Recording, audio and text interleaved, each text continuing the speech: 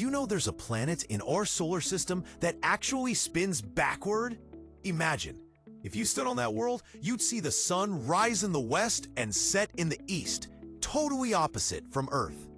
That planet is Venus.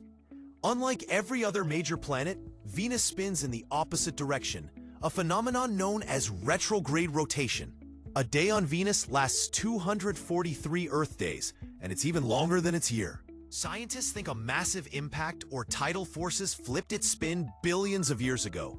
As NASA scientist Dr. James Garvin puts it, Venus reminds us how unpredictable and chaotic the universe can be.